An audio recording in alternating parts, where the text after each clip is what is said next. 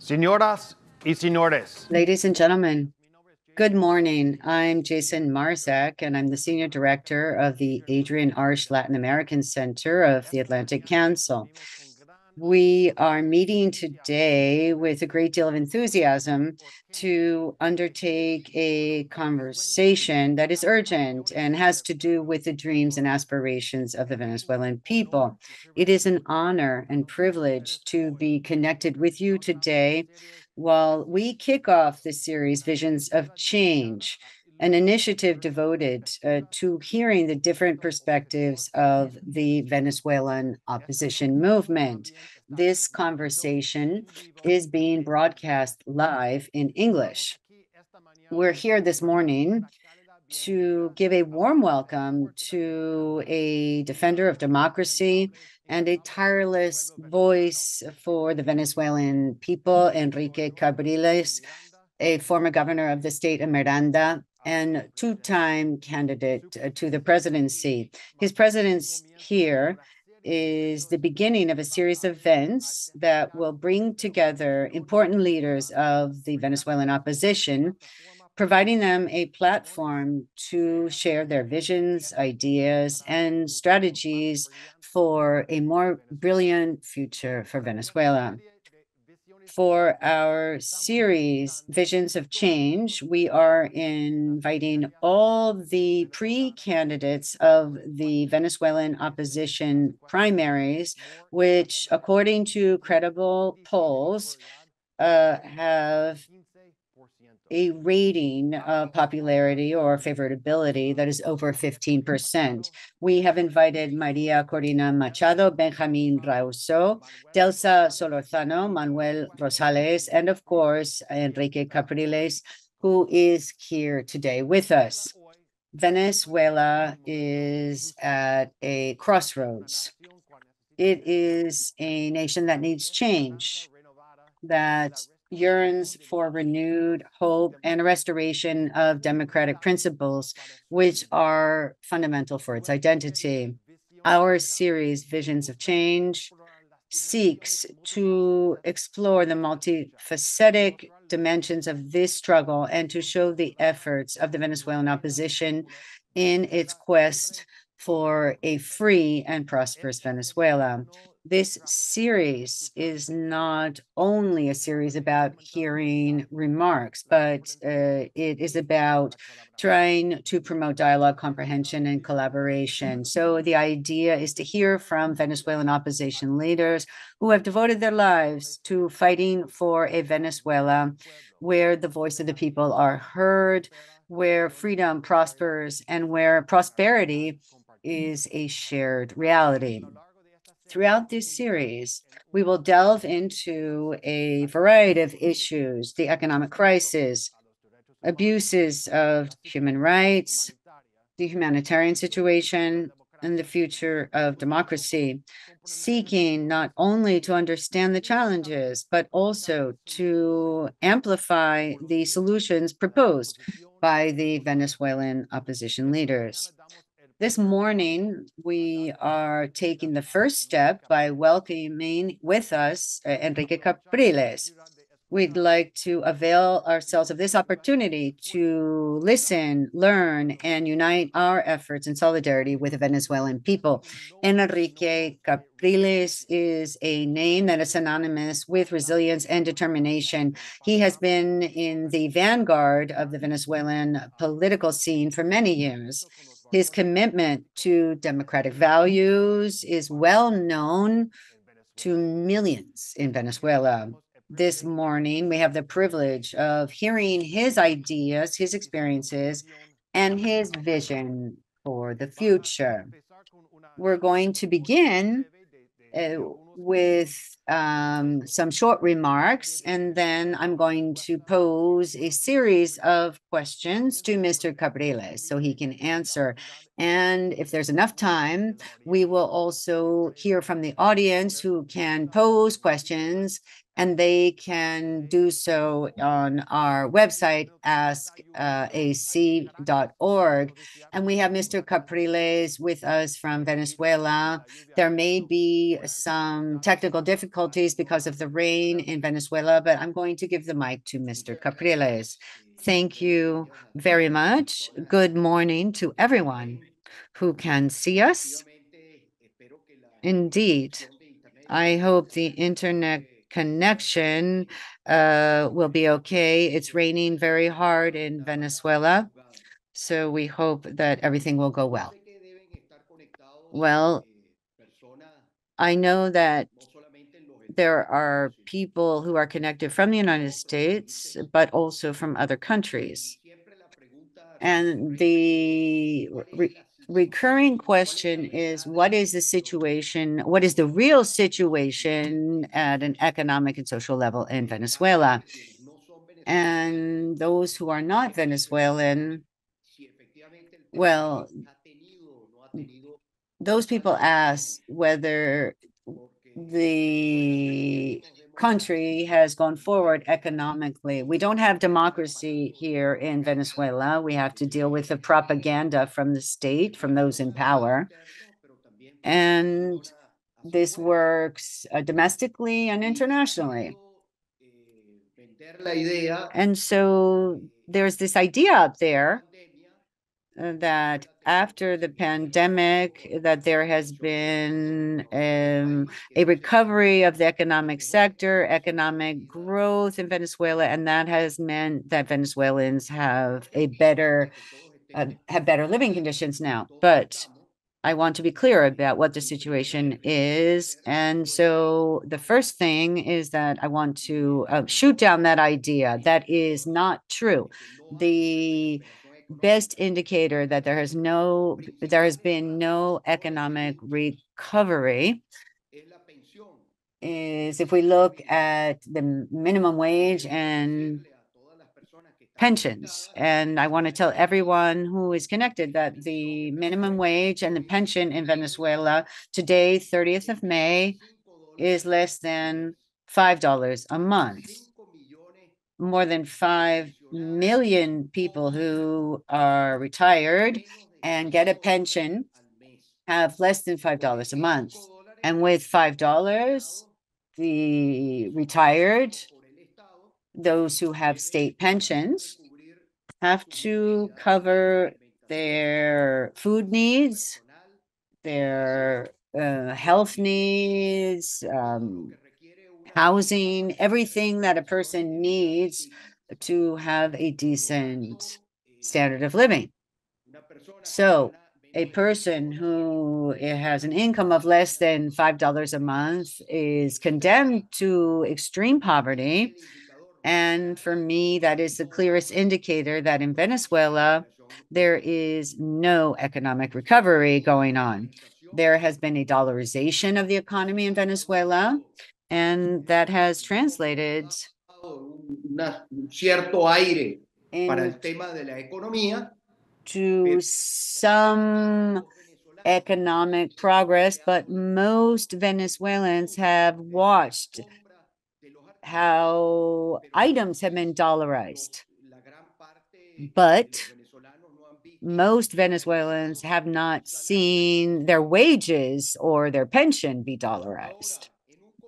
So in an economic context that is so difficult in such an unequal country, the pressing question is what should we do?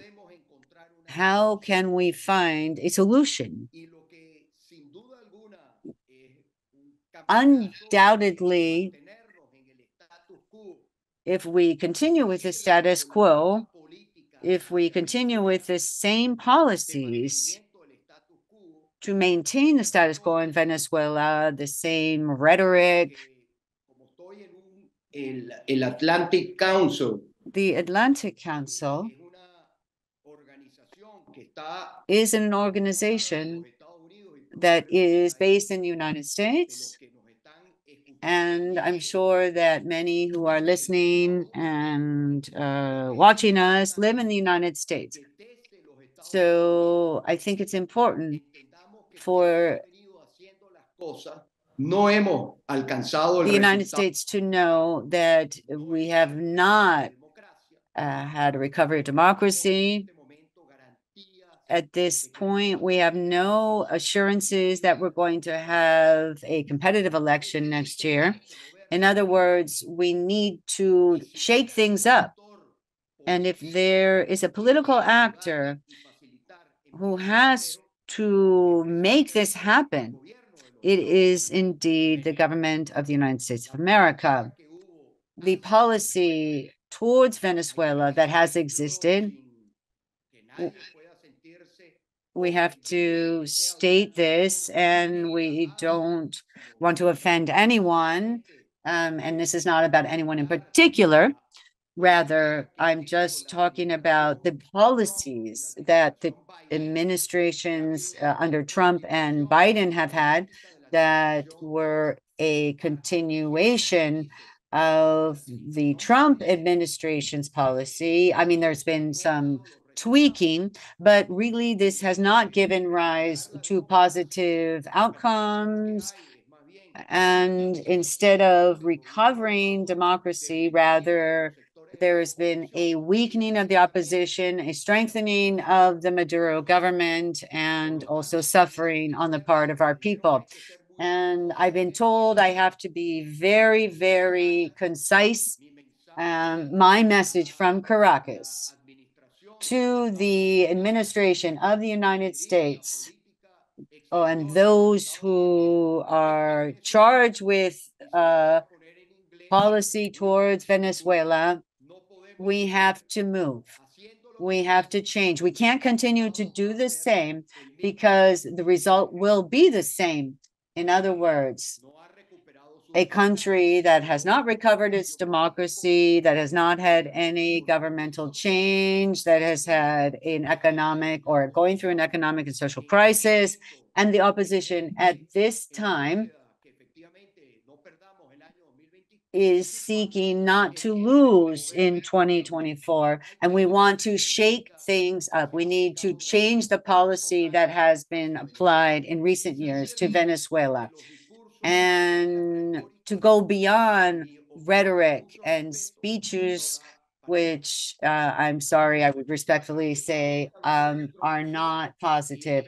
And so I hope the connection has allowed you to hear me. Capriles, la conexión está Thank you, Capriles. The connection is perfect even though it's raining in Caracas. I would like to begin with some questions about elections, proposals for the future of the country, and also a question about mobilization and unity. And then we will have questions from three guests.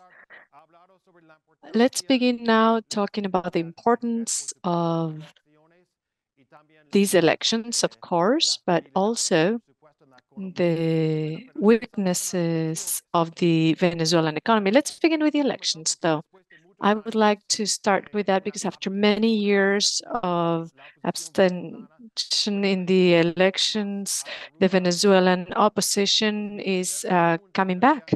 Um, therefore, my first question would be, what do we need? Uh, what does it have to happen so that the elections in Venezuela are credible? What is the role to be played by the international community in order to promote fair and free elections?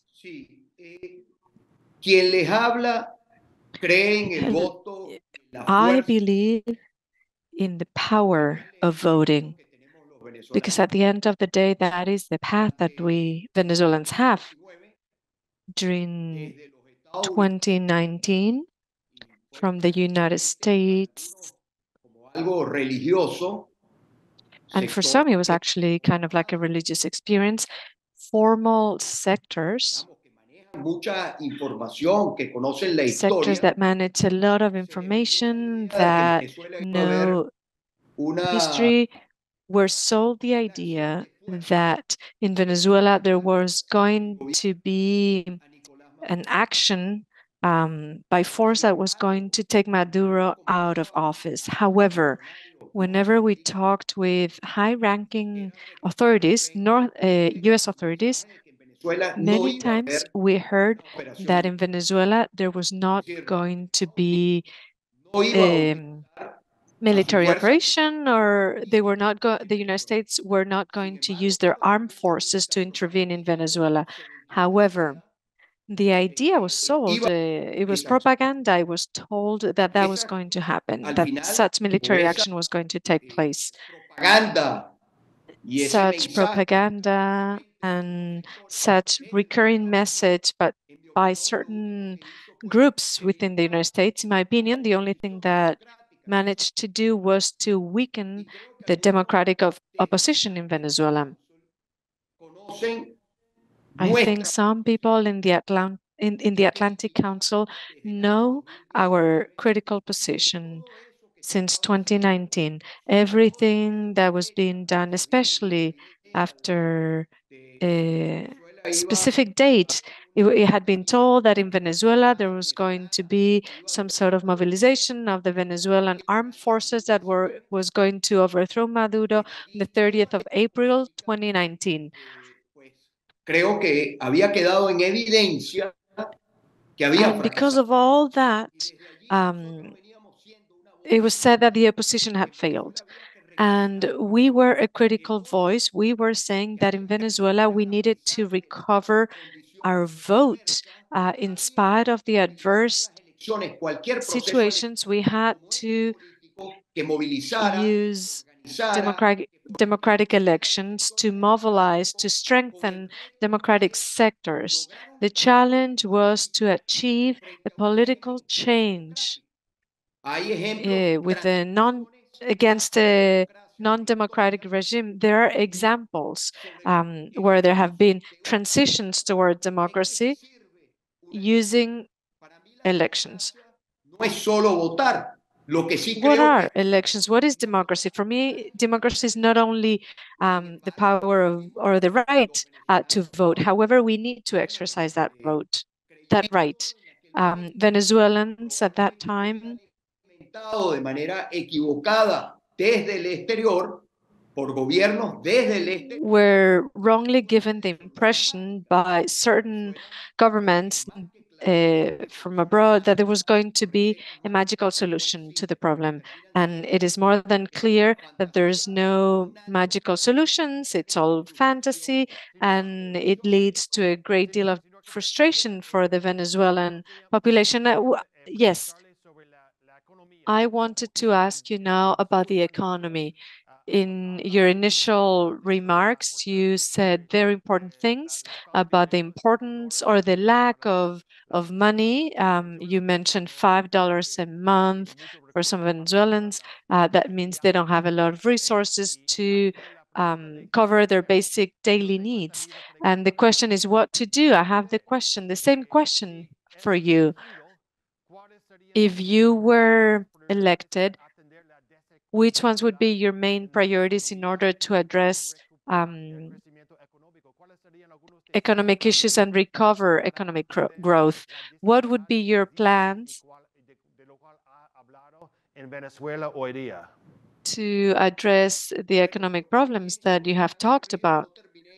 respuesta a la primera pregunta, pero la I didn't finish the answer to my to the first question, but I'm going to uh, segue to the economic issue now. In Venez, but they're related. In if in Venezuela we want to have competitive elections, um, in fact, I am one of those that believes that we can have um, an overwhelming um, victory. We can have we can win by knockout uh, using a metaphor from boxing.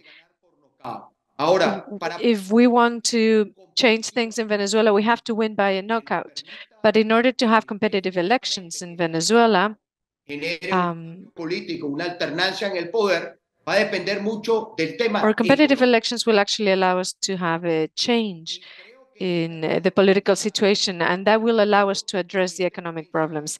I think it's a mistake, and I- here I have a message for the U.S. administration.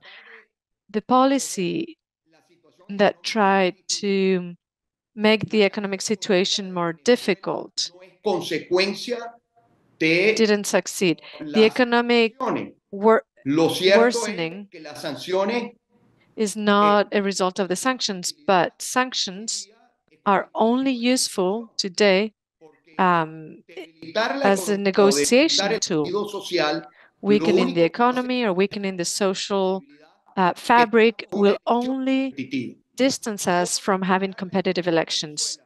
How can we recover the economy in Venezuela? We need to recover our main source of revenue. What is our main source of revenue? Oil. We need to recover our oil industry. Our constitution con el sector privado para allows for strategic partnerships with the private sector in order to strengthen our oil industry. Chevron. Chevron Now, está An example, Chevron. Chevron is uh, working in Venezuela. Is it positive or is it negative? Obviously positive. And we hope to have other oil companies come and operate in Venezuela. hemos sido nuevamente Now, sorprendidos de un escándalo. Venezuelans once again have been surprised with the corruption scandal ¿Qué quiero yo in the oil industry. And what do I want to say here? Well, if it's harder to sell our main source of revenue, which is oil, oscuro, el negocio the harder it is to, to sell oil, que lo único que estamos the more obscure the industry is, the only thing we're doing is um, feeding corruption. que el negocio In order, in other words, we need to promote transparency in the oil sector. We need, because creo yo que es putting obstacles to the oil industry doesn't really yield any good results. pensar que en la It's a false dilemma. la economía se fortalece la oposición o se One may think that if the economy weakens, then the opposition strengthens, and that's not right. claro I believe that it is clear los que nos quedamos sin that if in Venezuela we don't have gas, those that suffer are Venezuelans. It's not Maduro. mis palabras en That's why I would like to insist um, and repeat what I said at the beginning. We need to change the situation. We need the US to protect the main asset that we have in the country, which is our oil. If the United States are partners of uh, uh, our democratic recovery, it is important to have that asset and make sure that that asset doesn't end up in the hands of creditors that will use it as an uh, as an instrument for the electoral campaign of Maduro and against the opposition in Venezuela. If in the past uh, CITGO was protected, why not do so in now? And hence uh, my insistence on the following here in this conversation with the Atlantic Council. We don't really care much about domestic policy in the United States. We just want the United States to have the commitment to contribute to the Venezuelan solution. And the Venezuelan solution has to be among Venezuelans, and any type of agreement in the country needs to have the support of the United States so that it is not the United States uh, who plays a political role and decides what type of policy has to prevail domestically when looking or trying to achieve the democratic recovery in the country. Because in order to bring back democracy to Venezuela, it is not true that we don't need economic recovery. We need to take every single step in that direction. We need to recover our economy in order to also recover our democracy. Thank you very much, Mr. Capriles. I would like now to offer the floor to some of our guests so that they can ask their questions to you. Let's begin with uh, Adriana Delia. Adriana Delia is Venezuelan and she's a senior, a non-resident fellow here in the Adrienne Arsht Latin America Center. Adriana, go ahead. Muchísimas gracias, Jason, y al Atlantic Thank you very much, Jason, and thank you to the Atlantic Council. Greetings uh, to Henrique Capriles and everyone here today. Following up on the conversation about how to recover the Venezuelan economy, we know that oil is and will continue to be the key industry in Venezuela. My question would be the following. muy. PDVSA has a very difficult situation. They are have a very high debt, um, and they are producing much less than what they were producing in 1998. What um, approach do you have in terms of oil policy, and what is the future of PDVSA um, under your management? Thank you, Adriana. Mr. Capriles, go Bueno, ahead. no solamente sumaría el petróleo, sino también el gas. Well, I would talk here about oil as well as gas. Creo que siendo as our main source of revenue. And since Venezuela is an oil producing company, a country rather, the first thing that we need to do is to recover our main business. según los conocedores de la materia, According to experts in the subject matter, we could have 20 more years Es decir, tenemos of um, producing oil in. Venezuela. Therefore, we have almost like a full generation ahead. Now- exterior que ha habido en los últimos tiempos In terms of the foreign policy that we have seen over the last years, it's been positive in terms of el, el ingreso petrolero se sigue vendiendo petróleo the fact that we are continuing to sell oil and get revenue from it. However, what has happened? We have had to establish certain partnerships with some countries that are not really friendly to Venezuela and countries that do not have democratic regimes. That's why I said that we need to change the situation. In order for Eh, us to recover the oil industry in Venezuela, we need to facilitate the recovery of the industry. And that can only happen el sector privado. If there is investment by the private sector in this industry. What type of investment in the oil industry do we want in Venezuela? We want, de países como los Estados Unidos. do we want investment, for example, from the United States or countries like the United States? Well, I believe the US is a natural trade partner for Venezuela. And in addition to that, one of our main assets or our main allies is, or our main markets is the United States. Therefore, I think that would be the natural direct foreign investment in Venezuela. Therefore, it is absolutely necessary to have private investment in the oil industry in Venezuela. We Venezuelans, the country of Venezuela at this point does not have the economic capacity to. Actually do all the investment that the oil industry in Venezuela needs. Now, in order to attract foreign direct investment, we need to facilitate it. If there are restrictions to this type of investment, we won't have it. Um, accountability is important. Um, supervision, no, no diversion of um, revenue. That all those are challenges. The money generated by uh, our main source of revenue cannot end in the pockets of corruption. En la medida que hagamos más transparente el negocio, será menos probable que termine en la corrupción. Será más fácil It will poder be easier to actually oversee the resources coming into the country. So the conclusion is that we are a petroleum producing country. We need to recover uh, this production. We need to diversify our economy because Venezuela not only has oil, it can also produce everything that its people needs. We can produce medications.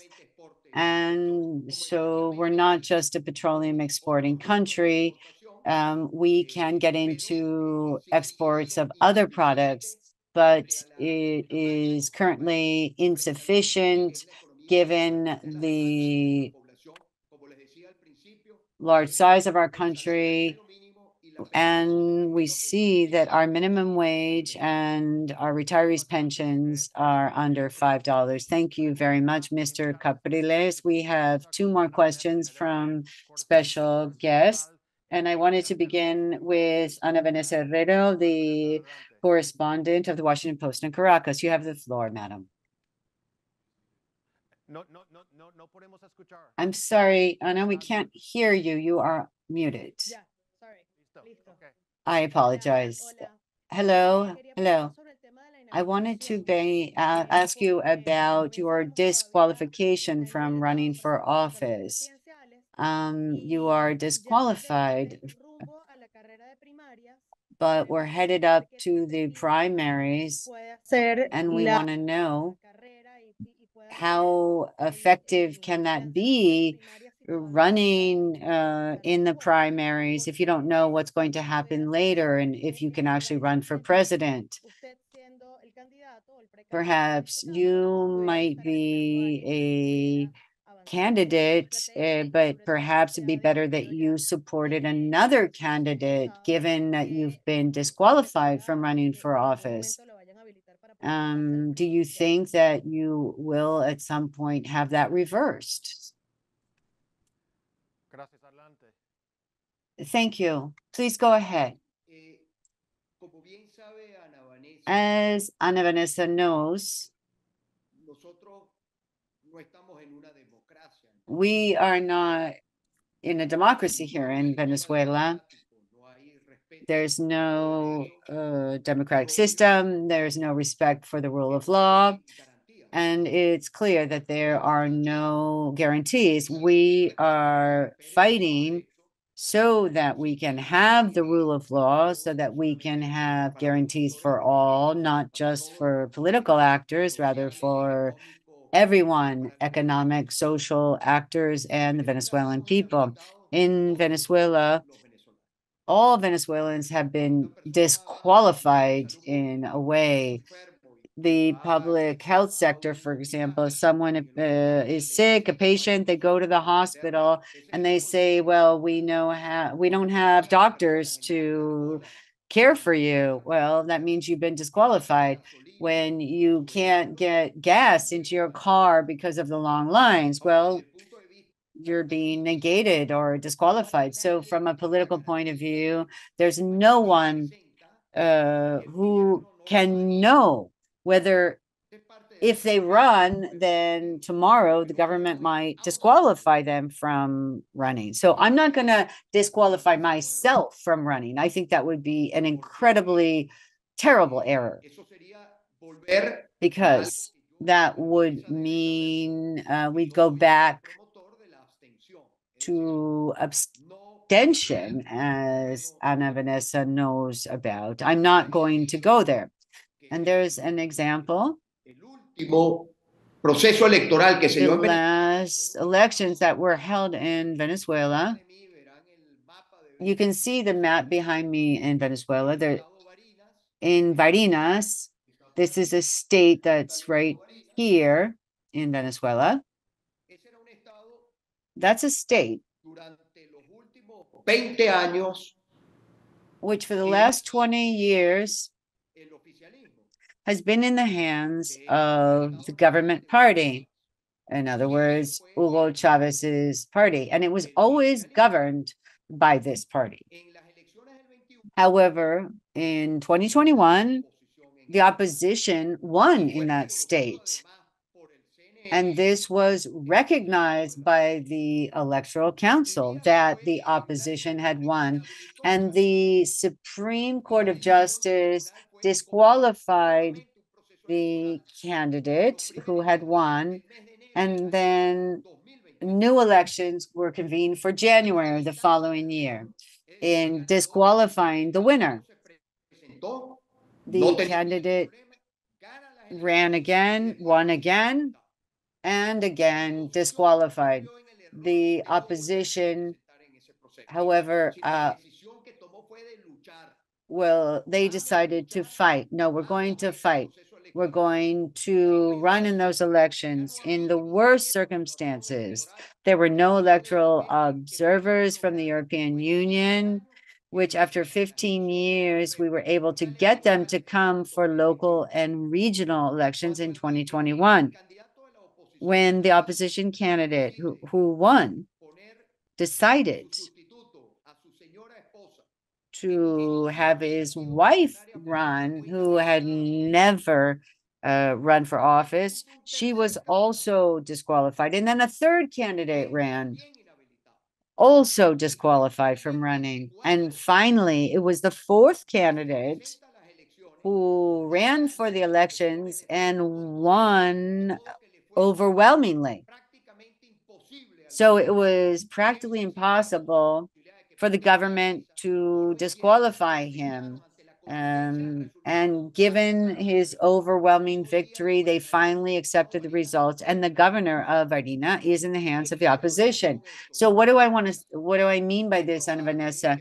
It's likely that they throw up roadblocks today, tomorrow, and when the elections are about to take place, but we should not renounce our vote. There are people who did not vote eh, on 21 November. They did not participate in elections. And now they are presenting themselves as candidates for the primary, and they say they're the voice of the opposition. And we must be clear and transparent. We don't know if what they're seeking is to see who's in the opposition and then take us on a path to boycott the elections. And I want to be clear and transparent. This goes beyond anyone's candidacy. This is a policy that believes in the vote, that believes in majority vote, so that the majority uh, in this country, the poorest in Venezuela, the middle class who has suffered, so that they can exercise their vote and so that we can have elections where there is an overwhelming victory of the opposition so that there can be a different administration. I think that we should not lie to the international community or Venezuelans. I think we need to talk about where we're going, who we're facing, and what are the conditions that we need to fight for so that we do not lose out on a great opportunity in 2024 as long or provided that there is an agreement so that the elections in Venezuela are free and fair, uh, so that they are useful for Venezuelans and the international community. And we need to also talk about forced migration that have made millions of Venezuelans flee from their country because of the opportunities they cannot find in their homeland. Thank you very much. Finally, Regina Garcia, who is a correspondent for Associated Press. She has the floor. Thank you. Thank you very much. My question is about voters, average voters, not those who go to these um, rallies, those who want to resolve the problems of their daily lives and who are tired of the same talking points, the same promises, including the talk about economic sanctions, which they do not connect up with their daily difficulties. Why are those voters, uh, uh, the, a worker for PDVSA or a teacher who sees their um, students not able to perform because they don't have food at home? And why should they vote in the primaries? And under, uh, well, how would you characterize the primaries as successful? I mean, is there like a certain percentage of people that need to uh, participate? I mean, it's difficult because the opposition, of course, is divided. Thank you, Regina. I think that that's a wonderful question. It's very timely. It's clear that in a country where the minimum wage and retirement pensions are under five dollars a month, what a worker earns in the US in an hour, less than an hour, that is the monthly pension of a person who is retired. And I think that clearly shows what the economic social situation is in my country. In midst of an economic crisis and a breakdown of the social fabric, people focus all their efforts and energy on obtaining food, on obtaining medicines and other basic needs. Regina, That doesn't mean that people are resigned, but in Venezuela, and I think it's a normal process, we see that people are worn out. This is a country where there are divisions and there are partisan politics that we see and hear 24 hours a day. I don't think there's any country in the world where, they, where politics is talked about more than in Venezuela. Morning, noon, and night, all the conversations, family dinner conversations about politics.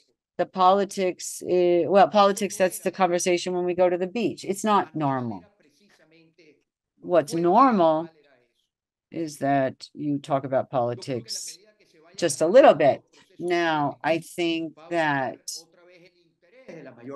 most people are going to become more interested in participating in elections as they become closer. And in our last regional local elections, the percentage of people who went to the um to the polls was a normal percentage. This is a presidential system. And that's when most people do go to vote. Now, your question about the primaries. datos científicos a la mano. Well, I don't have current data eh, available to me, unos- un grupo que hizo un- but I know there are some groups that have been researching this issue.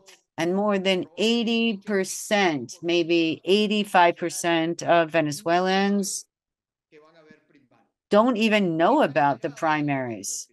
They don't even know they exist, but they do want unity. And we can't think that the primaries are going to resolve the problems of a divided opposition.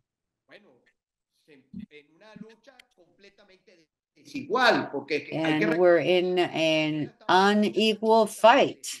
We have to remember that we don't control the media, we don't control the radio, we don't control public TV, we have connectivity problems. To think that we're on the same footing as the government in this fight, in this struggle, well, no way. So people want unity. But let's not think that the primary is going to resolve all these problems. The primary needs to be an instrument to be able to drive the opposition, to give us an opportunity. This is a country that is demanding change. Don't think that because we have no people or there aren't these huge protests in the street that people have thrown in the towel. I think that would be a an erroneous reading of the situation here. How do we ensure successful primaries? It can't be a VIP primary. It can't be a primary for a specific uh, stratum of our people, for the people who are uh, from the high class. In other words, that have gas, that have cars, that can travel. We need a people's primary, one that includes everyone in Venezuela. And it's not true as uh, people have tried to say that's going to be an intervention uh, by Maduro or the Electoral Council in the primaries. That's not true. The Electoral Council, there are five members on that council, and two are committed to democracy. Two people who weren't there before, and they are the eyes overseeing the Electoral Council and the logistics of the election. And we shouldn't give that to um, Maduro as a gift. We can use that electoral institution. I, I wouldn't dare say this percentage of Venezuelans will be going to the primaries. But a VIP primary where only, you know, the upper class goes to the primary, well, that's not going to be useful for the opposition. So I want a primary where there's broad participation, where the most humble Venezuelans go, people who live in remote neighborhoods go, the retirees go. Mr. Capriles, I'm sorry, given the time, we need to finish up uh, with this question. So thank you very much for that clear, clear answer. Por, por su tiempo, por sus... Thank eh, you for your time, for your response, for, and for your leadership at the same time. Now I would like to offer the floor to Geoff Ramsey, a fellow senior uh, for a senior fellow for Colombia and Venezuela, who will wrap up this conversation. Once again, thank you very much, Mr. Capriles, for your dedication and for your struggle. And Jeff, you have the floor. Thank you, Jason. Thank you, Mr. Capriles, for your participation in today's event. And thank you, Vanessa, Regina, and Adriana, for your excellent questions. And definitely thank you all for having connected to here to this session with us this morning. This conversation, this discussion has given us a renewed commitment uh, to the Venezuelans. And that was the idea precisely of this first event of the series Visions of Change. Uh, it's a pleasure to announce that our next event of this series will um, have the uh, leader of the oppo- opposition, Maria Corina Machado. We will be here on the 12th of June at 12 p.m. DC time and Venezuelan time, where we will continue to explore the possibility of a democratic change in Venezuela. I would like to reiterate once again that, as Jason said, for this series, we are inviting all the pre-candidates of the primary um, elections uh, for the opposition, according to reliable um, surveys. They, their um, polls indicate that they have more than 15% of um, acceptance amongst uh, Venezuelans. Thank you very much for being part of this dialogue that we are trying um, to foster in order to sol- find a democratic solution to the crisis in Venezuela. Thank you.